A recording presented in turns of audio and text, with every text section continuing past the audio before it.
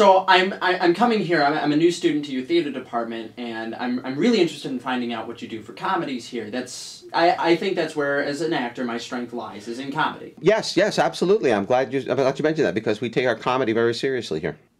Yeah, I'm sorry. Seriously? Seriously, yes, very seriously. Comic is very serious business. We take it very seriously. When you say seriously, you mean Well, if, if, if you want to be funny, you can be cheap funny. But I am you can- funny. But you can be cheap funny or you can be serious funny. Now, we do serious funny. Look, look. Okay, let me see your comic laugh.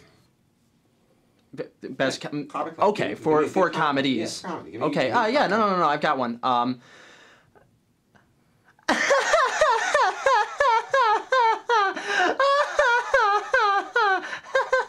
Now, see, that's all wrong. How is that wrong? That's not a comic laugh. That's that laugh has tragedy written all over it. That's a tragedy laugh How is it tragic? because you take it too seriously.